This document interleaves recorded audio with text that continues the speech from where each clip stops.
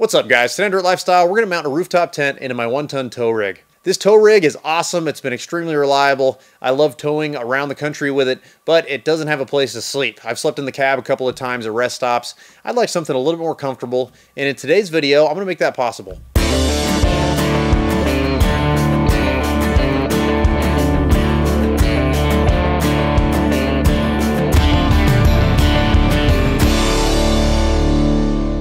If you follow the overlanding scene at all, you have no doubt seen this new trend that has popped up in the last couple years of building a nice heavy-duty bed rack to mount your rooftop tent in your pickup truck. These look awesome, they're super functional, they've got a whole bunch of junk hanging off the side, and I want to build something like this because I've seen a lot of kits to buy, but I haven't seen a whole lot of homemade versions, and I think this is something that a lot of people could make themselves. This is my 2006 Dodge Ram 3500, and this is the truck we're going to be working on today. This is a one ton, it's a 5.9 Cummins, it is a six speed manual, it is a mega cab, and it is a dually. There, that should answer all the questions I'm gonna be getting about this truck. Uh, almost 300,000 miles on the clock, and it doesn't skip a beat. This is a great truck.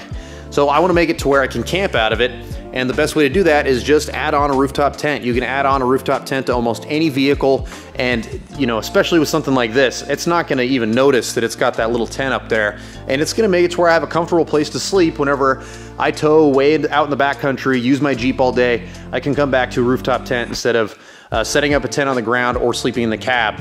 I wanna get started right away. So what we're gonna do is cut some angle iron that's gonna go on the inside of this bed rail, and that'll be our foundation to build the rest of our rack.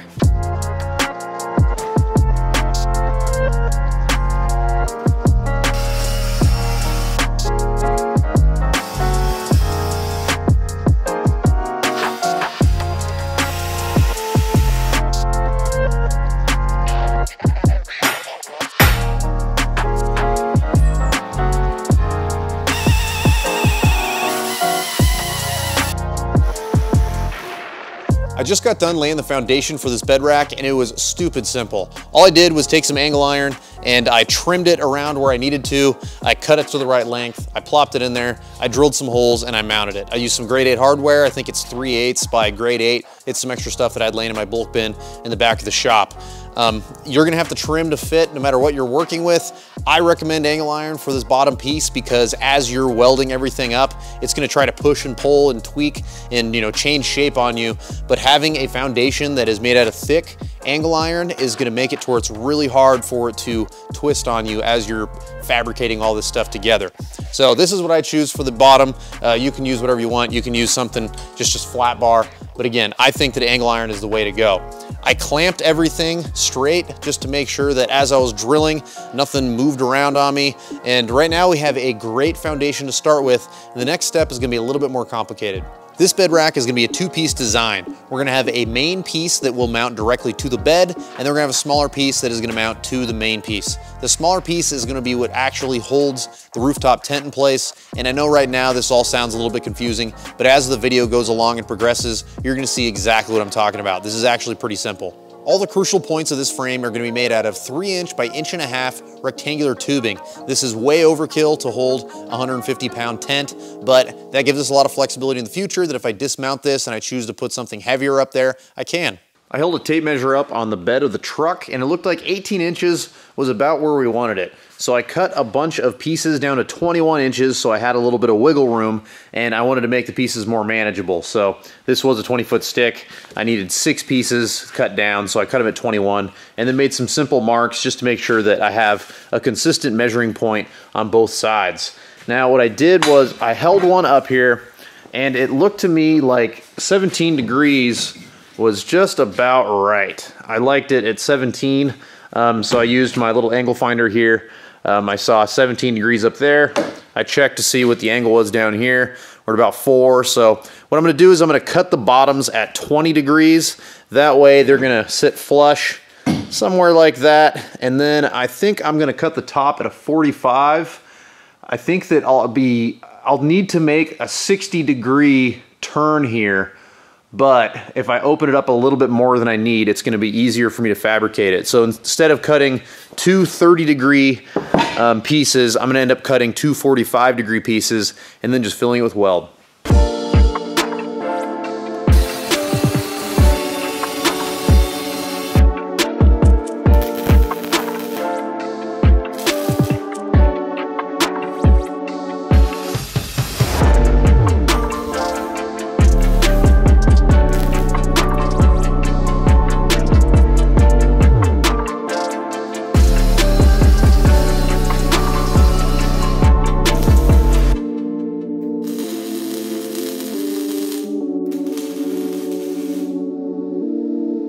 This rack is starting to take shape and I like the heights of everything. Everything's starting to look pretty good. I took some rough guesses as to where I wanted it to be. Um, this back section here, I want to be able to reach through. And so I wanted this to be just a little bit above my eye line to where I can, you know, shove my upper torso in there and it not be so tight that I can't get in there from the side or from the back without dropping the tailgate. I also don't want it to be too tall. If it's too tall, it's gonna push that rooftop tent way above the roof line and I think it's gonna look goofy. It's gonna be above the roof line a little bit, but I don't want it extremely tall. So there's a few things that are just gonna be based on taste as to how you build yours. Um, this one so far is reflecting my taste perfectly. Now, whenever you're constructing something like this, you don't have to get crazy with the kinds of tooling you use. I'm using just like a $20, $15, $20 angle finder in order to keep things zeroed out as I'm tacking them together. This is a four foot level. I, this is probably a 15 or $20 level. These aren't expensive. And I just use these kinds of tools to see how the, the bed is grading. And then I make sure that this is grading the same way whenever I start to tack things together. That way I know that I'm in the ballpark and as I build the rest of this structure, I can tweak it just a little bit, but I know that I'm not gonna break that tack because it's so close to where it's gonna need to be ultimately. Also, speaking of tack, I tack welded some extra bracing in here in order to keep things squared up throughout the, fabrica throughout the fabrication process. I put a square in this corner here, squared it out, and then I put a tack here and a tack there. So it'll hold this uh, scab piece in place, make sure that this is rigid. I mean, this is all just tacked together and I can shake the whole truck because of using some little scab pieces like this. One other scab piece I did is this one right here. Um, I just took a measurement from the inside of that corner to the inside of the other corner. I cut a piece and then I tacked it up here to make sure that this stays true from the back all the way to the front. Very simple techniques, very easy stuff. You don't have to be a master craftsman to put something like this together.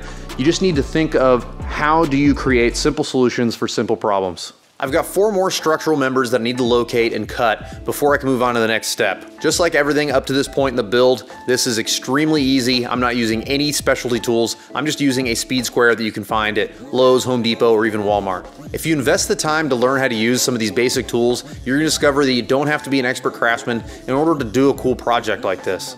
This little project's moving right along and we've got the exterior frame taken care of. It's mostly welded, it's not completely finished welded, but it's welded solid enough that I know it's not going anywhere and it's not gonna budge whenever we're building the rest of this. So now we need to move on to the internal frame, the part that we're actually gonna be mounting the rooftop tent onto. We're gonna have hinges on one side and then we're gonna have latches on the other. Um, for now, I'm gonna do a generic latch system. I'm not sure what I'm gonna do long term, but everything I'm gonna be using for the hinge and the latch system is gonna revolve around these. I call these builder bushings. These come from a YJ, a Jeep YJ spring pack. So these replace the leaf spring bushings that come in a factory uh, YJ. You can get them at 4 Wheel Parts, you can get them on Amazon. There's a whole bunch of places you can get them, and they fit perfectly in uh, different sizes of tube. And I like to use these for things like this. We're gonna use these as a hinge on one side because it's gonna be vibration dampening, which is nice. It'll be less squeaks and stuff like that. But they're also really durable. They're great for suspension, um, you know, engine mounts, transmission mounts, but we're gonna use them for a hinge. These probably last forever in this application, whereas you'd only get a few years as a suspension component. So now this build's gonna get a little bit tricky. I'm not exactly sure how I'm going to go about the next part. I have some ideas. Um, I want to build the hinges first and then I'm gonna start to build the inner frame and then figure out some sort of a really simple latch mechanism that's gonna be at the front of this rack. I'm gonna be building this inner piece of this frame out of this inch and a half tube. And my plan is to start with the hinges. So I am going to mount this bushing somewhere in here. I'll probably split this into thirds or something and put these on the outer thirds or I don't know. I'll figure out a good spot that's wide and out of the way. And then I'm going to have to make some tabs that go from this to the bushing with a bolt. And this will be the hinge point. So we're gonna have a latch system in the front. It's gonna be able to raise up and down. And it's gonna be able to pivot on these bushings. I think that this is gonna be the easiest way for me to fab this up without getting crazy. So I'm gonna start by mounting these bushings. I'm gonna locate them. I'm gonna tack some brackets together. I'm gonna build some really rudimentary brackets to mount on the back of this guy. And then once I get all of this tacked on here, I guess I can go through and weld the pieces that are gonna be going forward. And uh, once all that's taken care of, I can figure out this latching system.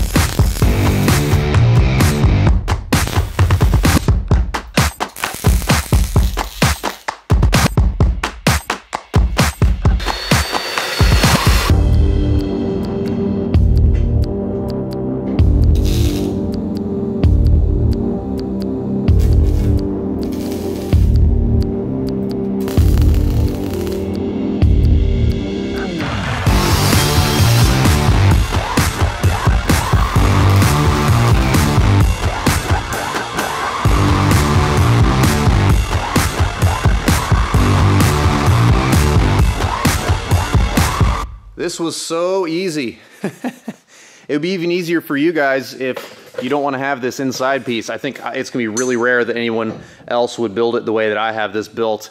Uh, because you don't really, most people don't need the tent to be able to raise up like I do. But you can see the basic concept. I've got two hinges over there. I've got two latches over here. These latches are super simple. It's literally a bolt that I just tack welded a handle to. And then there's a nut that's tack welded on the bottom side here. Right now, this is ultra light, but once we get a 150 pound tent on there, it's not gonna go up and down so easy. And so my long-term plan is to add some sort of like hood shock system like you would see on a big heavy truck hood. I need to do a bunch of research and find out how to do it, but I wanna add some sort of a shock system so where once I unlatch this and I push it up, it'll assist in lifting up the tent and keeping it up while I'm getting into the toolbox.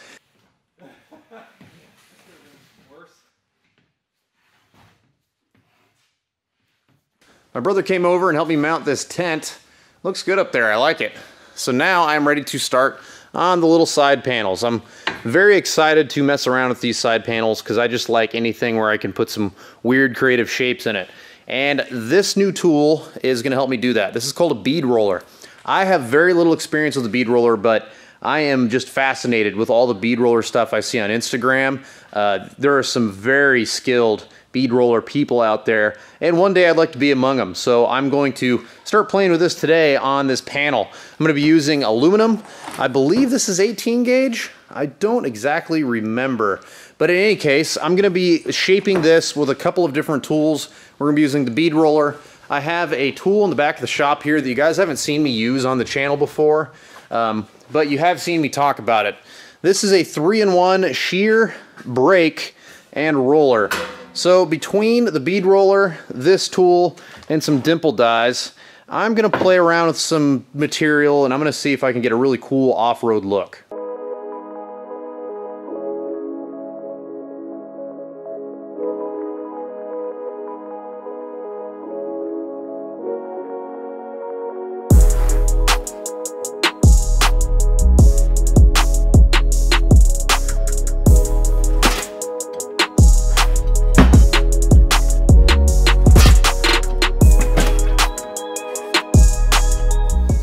Notice I'm a little bit brighter. I've got my studio light set up and I've got it turned all the way up so I can clearly see this line in the die. I really don't want to mess this up. It takes a long time in order to do a full layout like this. I'm not worried about the dimple die holes. I'm not worried about the metal brake.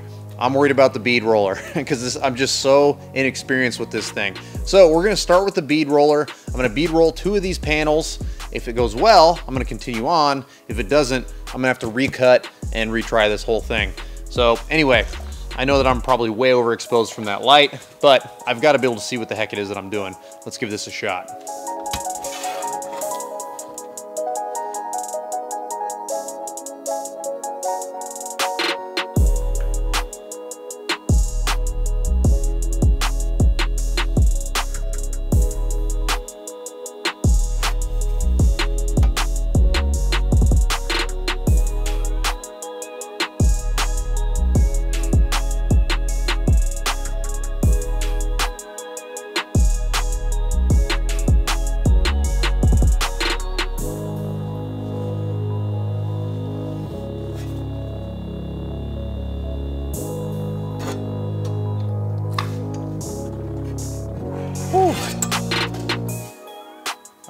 Think that's gonna work.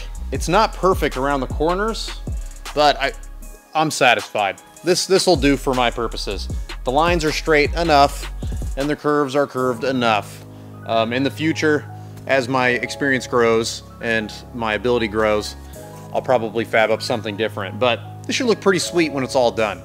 I'm gonna have some dimple sections in the center portion of this piece, and it's gonna try to give it a U shape. On the outsides of the piece, I wanna bend them at a 45. So I'm choosing to do the bends on the outsides first to try to make the piece rigid before I move on to the dimple die section.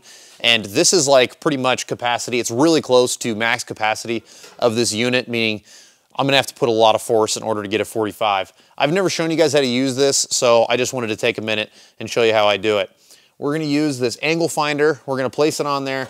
We wanna get it to like 22 degrees or so because 22 degrees on this side and 22 degrees on, the, on that side will make a 44. We're going for a 45 or somewhere thereabouts.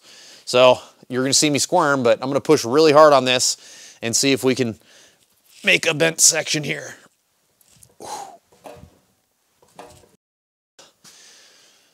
All right, there's 10 degrees, so we have a 20 degree bend. I'm gonna have to flip this towards me.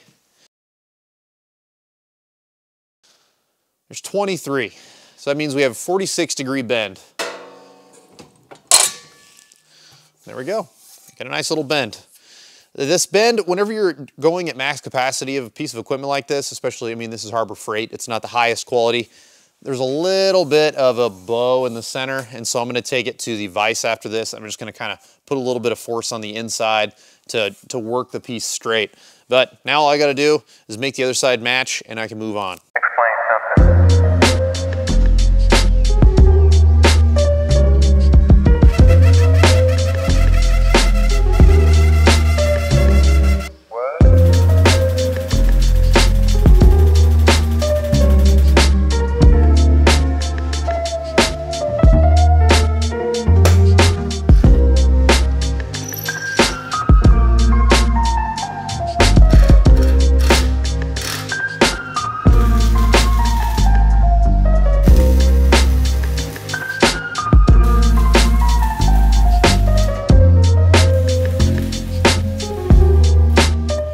Panels are officially mounted up. I think it looks awesome.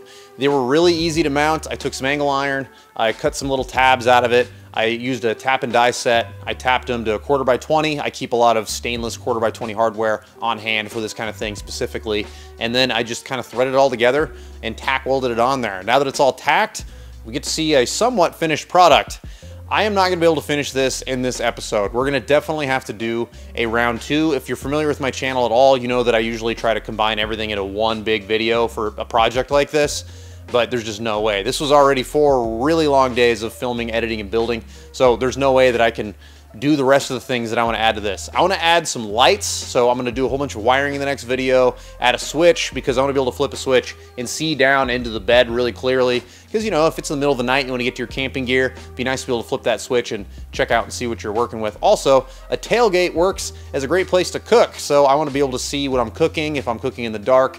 Um, anyway, so we all know lights are great for a lot of things like that. I'm gonna be adding that into the next video, and I also want to add some gusseting and some more flare, but I need a little bit more time to think about that, as well as those shocks so we can lift this bad boy up, paint it, open this tent up and check it out. So this next episode is gonna be way too big for me to try to squeeze it all in with this one as well. If you like what you saw and you want to see more like it, make sure you give the video a thumbs up and subscribe to the channel if you haven't already. I've got a ton of how-to content on here just like this, and I, I love building these kinds of things. If you're into that, make sure that you follow along. If you want to help support the channel, you can go to thedirtlifestyle.com. We have t-shirts, hats, stickers. We have patches now. We have a whole bunch of different things that you can help uh, support the channel that way. We also have a link to our Patreon account. And if you've learned anything from any of my videos, consider supporting us there as well. If you want to follow me on social media, I'm at Dirt Lifestyle Nate. We'll see you next time.